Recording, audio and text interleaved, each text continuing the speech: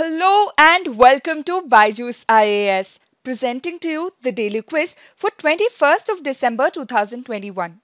Let us begin and have a look at the first question for today.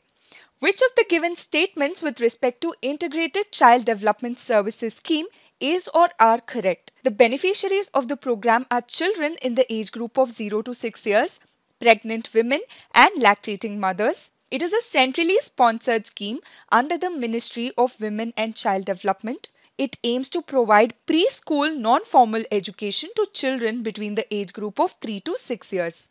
What is the context? We've taken up this particular question because there is a reference to the ICDS scheme in today's PIB. Say this Integrated Child Development Services scheme is a scheme that provides nutritional meals, preschool education, primary health care, immunization and health checkup to children under the age of 6 years and their mothers.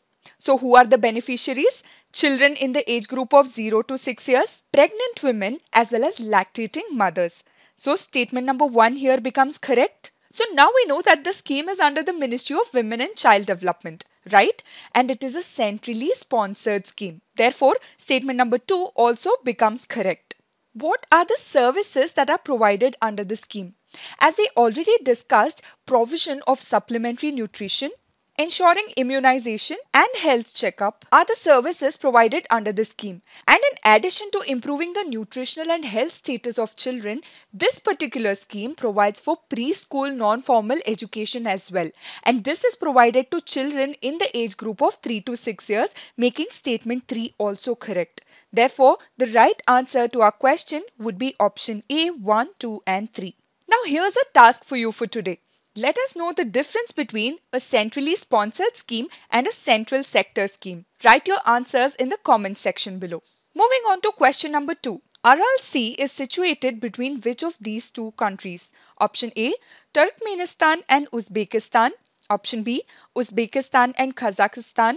Option C, Kyrgyzstan and Kazakhstan. Option D, Uzbekistan and Turkmenistan. What is the context? This article in the PIB today talks about India Central Asia Dialogue. So this India Central Asia Dialogue is a ministerial level dialogue that is held between India and the Central Asian countries. And these Central Asian countries are Kazakhstan, Uzbekistan, Turkmenistan, Tajikistan and Kyrgyzstan. Therefore, we've taken a map-based question on this region. So if we have a look at the map here, we see that the Aral Sea, which is an endorheic lake, lies between Kazakhstan in the north and Uzbekistan in the south.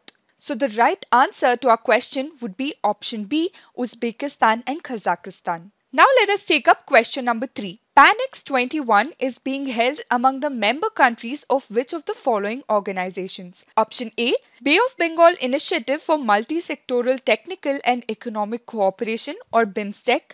Option B, South Asian Association for Regional Cooperation or SAARC. Option C, Association of Southeast Asian Nations or ASEAN. Or option D, BRICS. Why this question? This article in the Hindu newspaper today talks about PANEX 21.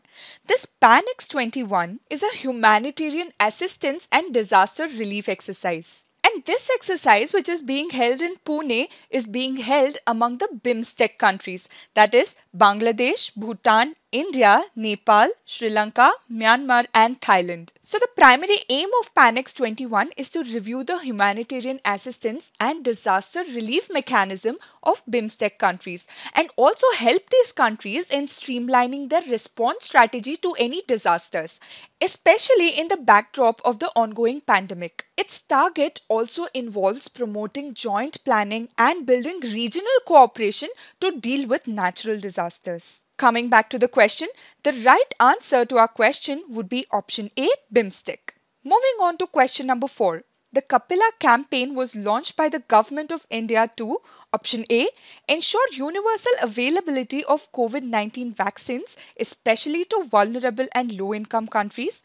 Option B Increase awareness regarding protection and exploitation of intellectual property and provide funding support to promote filing of intellectual property in higher education institutions. Option C prevent and stop the growing incidence of cyber violence and sexual abuse faced by women in India. Option D, ensure integrated water resource management, helping to conserve water, minimize wastage, and ensure more equitable distribution. What is the context? This article in the PIB today has a reference to the Kapila campaign that was launched in October 2020. See, Kapila is the acronym for Kalam Program for Intellectual Property Literacy and Awareness Campaign. And the answer to our question lies in the acronym itself. So if you know the acronym, you know what the answer is. But let me tell you more about this campaign. This campaign, that is Kapila campaign, was launched in the year 2020 in order to generate awareness about protection and usage of IP rights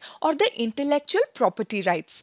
So the government through this campaign intends to spread awareness and importance of patenting and inventions. What this campaign will do is facilitate the colleges as well as higher educational institutions to encourage more and more students to file patents. And in addition to this, in order to help these higher educational institutions to file for intellectual property rights, Kapila campaign will also provide funding support. Coming back to the question, so the right answer to our question would be option B.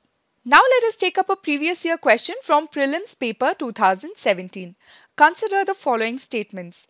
In tropical regions, Zika virus disease is transmitted by the same mosquito that transmits dengue. Number 2. Sexual transmission of Zika virus disease is possible. Which of the statements given above is or are correct?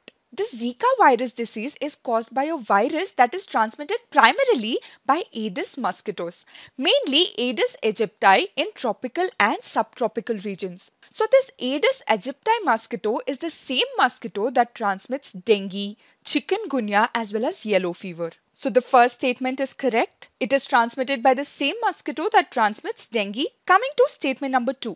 Zika virus, as we discussed earlier, is primarily transmitted to mosquitoes, but it can be transmitted through sexual contact. It can be transmitted through transfusion of blood as well as blood products and also by organ transplantation.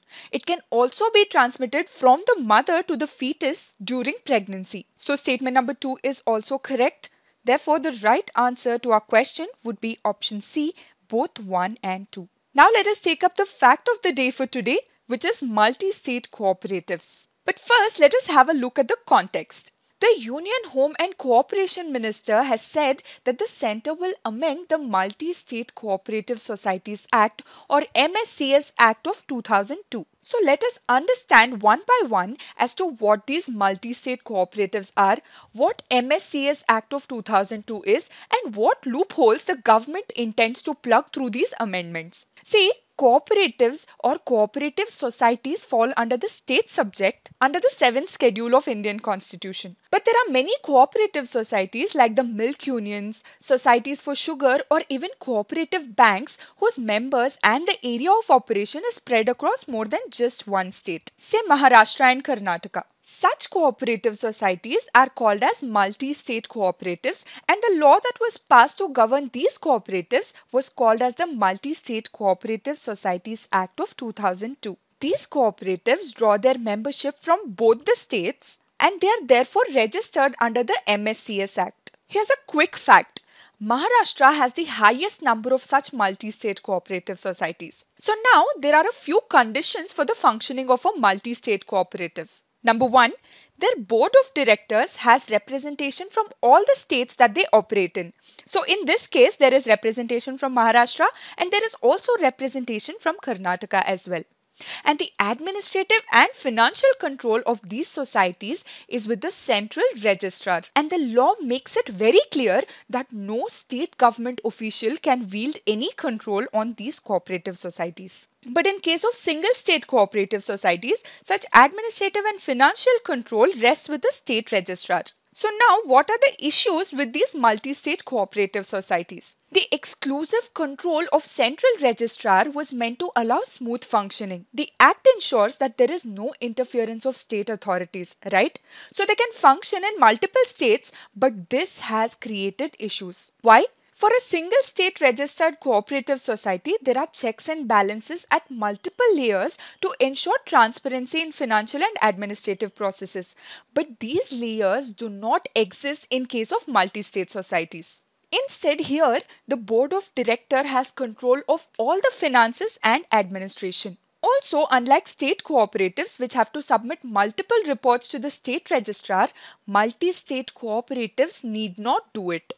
Another issue is that the central registrar can only allow inspection of societies under special conditions and these inspections can happen only after prior intimation to such multi-state cooperative societies and this has created multiple issues that is the issue of lack of transparency. So there have been instances across the country when credit societies have launched Ponzi schemes. And this has been done taking advantage of these loopholes. These Ponzi schemes are high risk schemes that target small and medium holders by luring them for high returns. So now to check and prevent these cases of fraud, the center intends to bring about amendments to the act so that there is better and transparent governance and also accountability. And the center is also looking at options of using technology to bring in transparency in the functioning of these multi-state cooperatives. That is all for today. Thank you for being with us. Keep watching and keep learning.